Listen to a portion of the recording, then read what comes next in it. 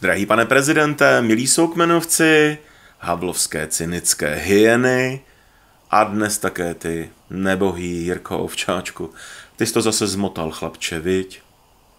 Tak eh, nejprve jste málem nestihli pohřeb slovenského bývalého prezidenta proto, že pršelo. Když se ukázalo, že vám déšť nepotvrdí ani zpřátelení meteorologové ze Sputniku, přišel s, s další variantou, tentokrát, že vaše letadlo předběhly jiné letadla. No, asi nemůžeš čekat, že zrovna dispečeři z letiště Václava Havla ti na tohle vystaví omluvenku, viď? Asi si měl přece jen, Jirko, alespoň pro tentokrát, zkusit pravdu. Totiž všímavému znalci zemanologie nemůže uniknout, že nejde o první pohřeb státníka, ze kterého se pokusil pan prezident Zeman vyvléci.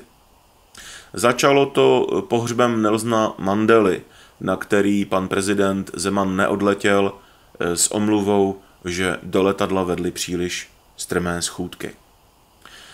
Pak tady byl rabinův pohřeb, stejná výmluva se použít nedala, protože jste zrovna přistáli na rodu, tak se vymlouvalo na bolavé bříško, nevábný gyros a osamělost eh, vašíka Klauzu, no budiš.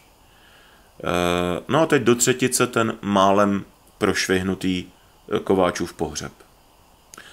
Přitom jeden z bodyguardů z ochranky, můj kamarád, mi vyprávěl, jak si Miloši už od začátku kliščkoval a zdržoval na letišti Ruzini v bezcelní zóně si prý zháněl věnec. V Bratislavě se zasekl u stánku s valaštičkami a e, situace vyvrcholila u Bratislavského hradu, kde se sprý pokusil o e, pronásledování a občanské zatčení nelegálního imigranta, až tě musel samotný Václav Klaus upozornit, že jde o maďarského prezidenta a že zrovna odchází z pohřbu.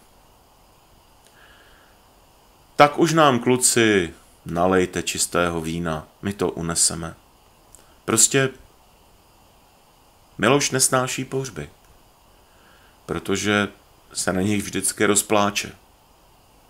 Je to, je to zkrátka hodný citlivý chlap. No a? Nemůžu, promiň.